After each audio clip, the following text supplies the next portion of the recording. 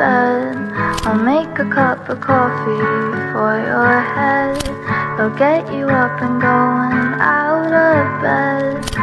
And I promise that one day I'll feel fine. And I promise that one day.